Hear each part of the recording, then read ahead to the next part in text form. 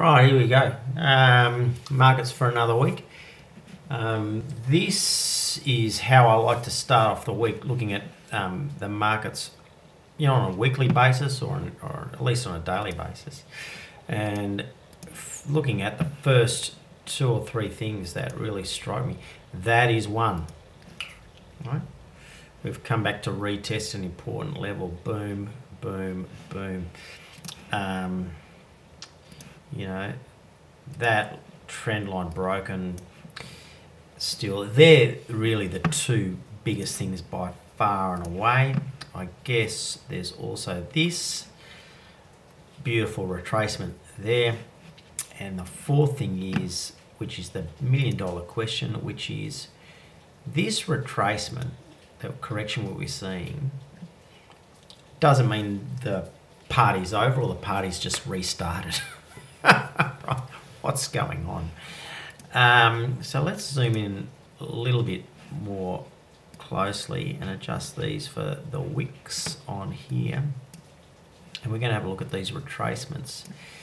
Um, so we are sitting bang on like the 61.8% uh, retracement of the move down so far and at a very important level that had resistance there, had support there, and now resistance so far there. Now, million dollar question, of course, as I said, is, is are we talking bear market rally or not? Now, let's look at some of the other um, corrections and how they fared. Like this one's back in 2018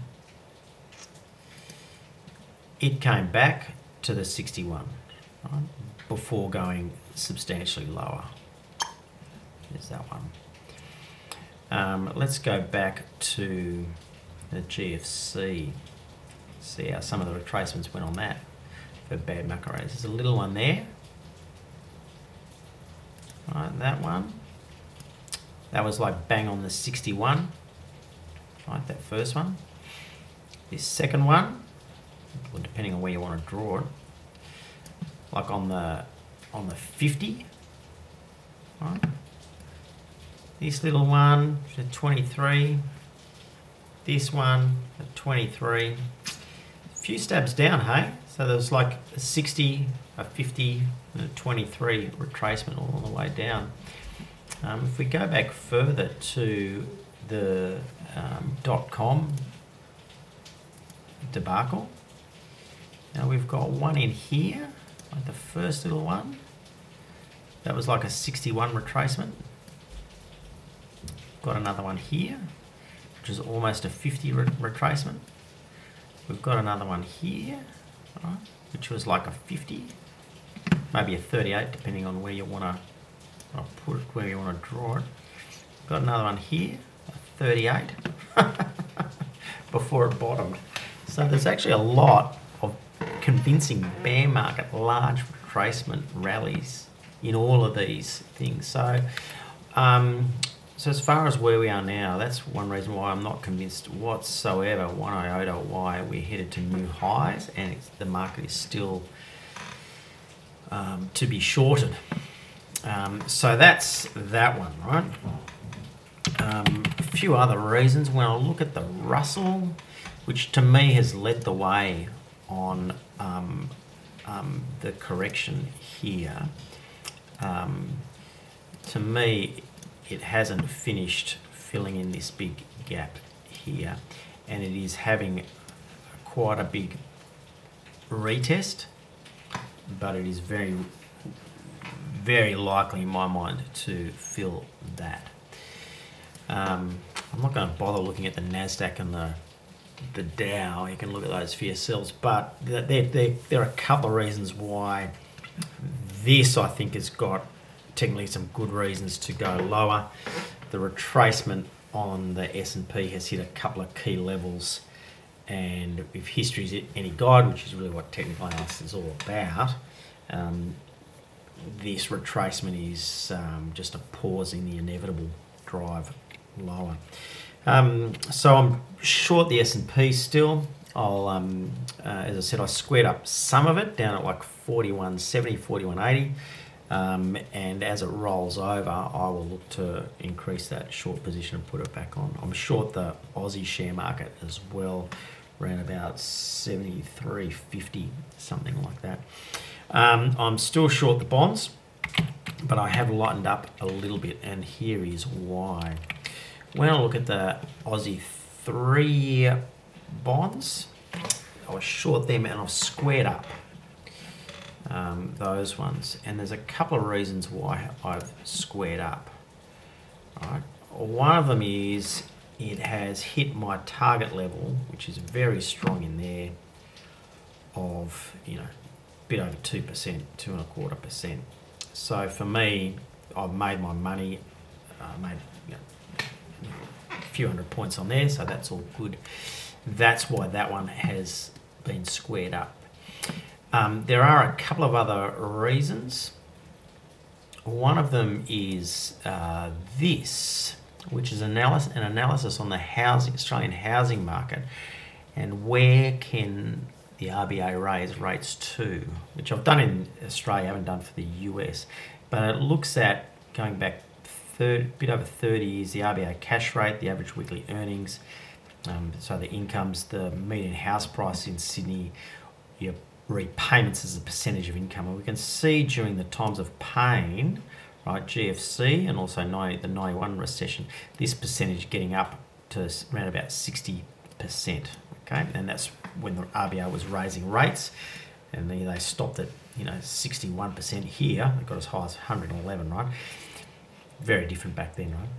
Um, but to me, that's the pain threshold. And when I look at given the salaries the wages today, um, where rates are at the moment, um, and where um, the house prices are, this is what I come up with. And that if the RBA raised to 3%, right, then they start hitting this 71%, you know, um, interest loading um, on your income, which is crippling. So to me, I've always thought, right, that two and a half to three percent, that's as how high the RBA can go when I've looked at the bonds and the forward curve that's implied, this is, you know, the two-year bond April 24, three-year bond April 25, um, April 26, and then I look at the yields there, and then the forward rate. The forward rate from the two to three comes out as three percent.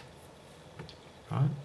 So the way in which the, the, that three-year bond and where the two-year bonds are applying at the moment, it's saying they're expecting the RBA to have a rates at 3% over between April 24 and April 25, which to me, that's the total upper end of um, my expectations. So that's the second reason why I pull that position. I think the three years have run hard. Um, and the other one is um, this is the, um, if I can get it here, um, this is a software website called yieldreport.com. So I've been short the tens um, more so than the threes, and so I've enjoyed the curve flattening. Right, so there's been a big, big flattener there. Um, and I think that we are coming close to it's time to put on a, a, a steepener. I think the curve will steepen up a little, little bit. Um, the other one, the reason for it is this: the relative yields across the world. I'm short the German Bunds as well. These are those 10 year yields. Look at the Bund, right? There, you know, Germany's got a rate. It's not, I don't think it's AAA. Europe's AAA like Australia. But Australia is right up here. We haven't even started raising rates yet. These guys, they've got inflation which is far higher than us, right? and their 10 year bond rates only just in the last couple of weeks really kicked above zero strongly again. So I think on a relative value basis, being short those the 10 year bonds makes a lot more sense than being short the Aussie ones. So that's I guess the third reason. So they're partly technical, partly you know fundamental um, reasons, but that's why I'm out of my three year bonds. I'm still short the 10 years. I'm still short the um, two years in the US. I think they've got more to go. Still short the German bonds, which I'm looking to build on. Um, now the US 10 years, um, there's no surprises there. um, that is really telling a dire story of the end of a 40 year trend. You know, and it's astonishing to me that the equity market has held up so well given what is going on here. And I still see the um, place for this to go to is up here. You see, you see how it's really neatly met that first target. It's just a Fibonacci retracement, like a one for one.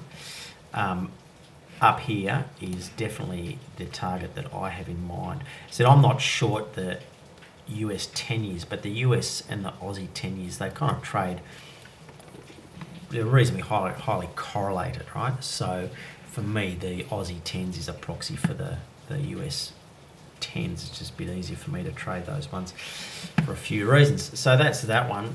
Um, and then the Bund, um, Bund, you know, that's really kind of taken off there and there is a nice gap in there for it to go and say hello to. And same thing as in the as in the US you know probably even stronger very strong break. Um, when I look at the US two years I think they've still got a little bit of way a little bit of a way to go. Um, they've certainly filled in um, I mean, that was the easy, easy money. As I said, I've been short these since September, October last year, um, and they've still got a bit of a way to go. Um, I think that they're going to break that, um, and I think we're looking at somewhere around about there for these things to go to, which will be pretty painful, but you know, four percent. But given where inflation is at the moment, it's probably not out of the question. That might be a bit of an aggressive target. Maybe somewhere in here is a bit more realistic. But I'm short, still short those. I'm just going to keep on rolling them. Um, let's look at gold. Um, gold, I'm still bearish and I don't have anything on at the moment. Gold is just kind of a bit tricky to trade at the moment because of the geopolitical, you know, debacles. But I want to point out a few things um, on on gold. Let's go down to a weekly. I'm convinced with gold, you just got to look at it on a, on a weekly. If you look at anything shorter, you're um, sucker for punishment. Um, you know, there's a, there's, there's a support line through there. There's this kind of interesting little price action here, right? Where it kind of came up, it kind of turned, and then it really shot up. Okay, just keep these in mind, right? Um, there's this kind of trend here. Wipe out that bit of noise there. Um, and then there's this bit where it just kind of shot up quite quickly there. So there's a few things going on the last couple of years where it came up, did a bit of a hit this level, came up, shot right through, weaker, weaker, weaker, weaker, weaker, sudden last gasp, where to next?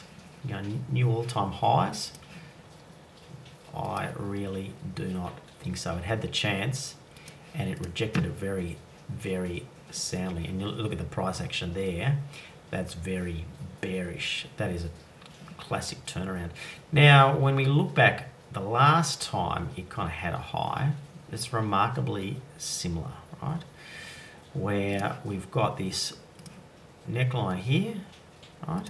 Where we had this nice little um, run up, a test, and then it shot right through. Then this the dwindling enthusiasm. Then a last gasp here, right? Okay. Okay. And then it just tanked. Okay. Now, to me, the price action is is it's exactly the same. Oh, I don't know what this is doing there. It's exactly the same. You know, the, these key things. Its approach, where it kind of went up, back, shot through, went up, back, shot through, dwindling highs, dwindling highs, a last gasp, a last gasp. And to me, um, there's only one way, one place where this thing is going, which is down, and um, it will be very, could be very sudden, particularly once it drops through here. So, uh, as I said, I don't. That's all the talk. I don't have anything on at the moment. I am looking. I will keep an eye on on shorting it though. That's for sure. Um, and the last one, the Aussie dollar. Um, the Aussie dollars, um, you know, really, I've, I'm long the Aussie dollar. Um, at the moment, I'm going to be um, building that one for a, a, while. You can see how it really is on the downside. It traded beautifully from this breakdown point, which is just in there. You know, one to one that little wave there from this breakdown point to there up to here. Right. You know, sorry, one to one point six almost like right on the um, right on the knocker there, right? Um, probably is depending on if you just fiddle around with this one, you can make it fit. Um, but that does mean when I'm looking for where the Aussie to go to next, right? Up, I'm looking up the 90s. Sounds pretty outrageous, right? But if commodities keep going the way they are, um, that will happen, and that takes it back to that spot there. I mean, I even think we've got a parity, right? Um, the interest rate scenario will be interesting for the Australian RBA. Um, anyway, so that's what I've got in. So I'm, I'm long the Aussie. Um, I've got nothing in gold, but um, looking to short it on the back of what's going on here. In the um, bonds, um, the US 10s is probably the, the, the, his example to kind of sum it up. Um, I think it's got um, you know more more to go, um, and that 326 level very compelling. You know, very compelling. Could have a bit of a pause here, um, and as far as equity risks, um, the the Russell to me um, sums that up very nicely as far as where I think it could be going. Um, you know, and the excitement on the um, S&P over the last you know week and a bit the rally um, you know to me I don't buy it. I'm not buying it actually. I'm selling it. Um, I think that this is a very good chance that that could fail. I can't see any rational reason for it going higher the these size retracements historically in the, these big moments in time. And let's face it this is a big moment in time like bigger than this one. You know this is inflation out of control interest rates coming off zero. Massive historic rally last two years in equities. Central banks unwinding their um, bond holdings. Um, and you know to have like this 60% retracement, people saying, look, we think it's, you know, time to buy it. You know, it's lunacy. I mean, you know, look at this one, the GFC, that's a better indication, right? And it was just a, the briefest of pauses in the unwinding of a long rally. Um, look, now that's pretty much it for me. Um, I hope you have a good one, and uh,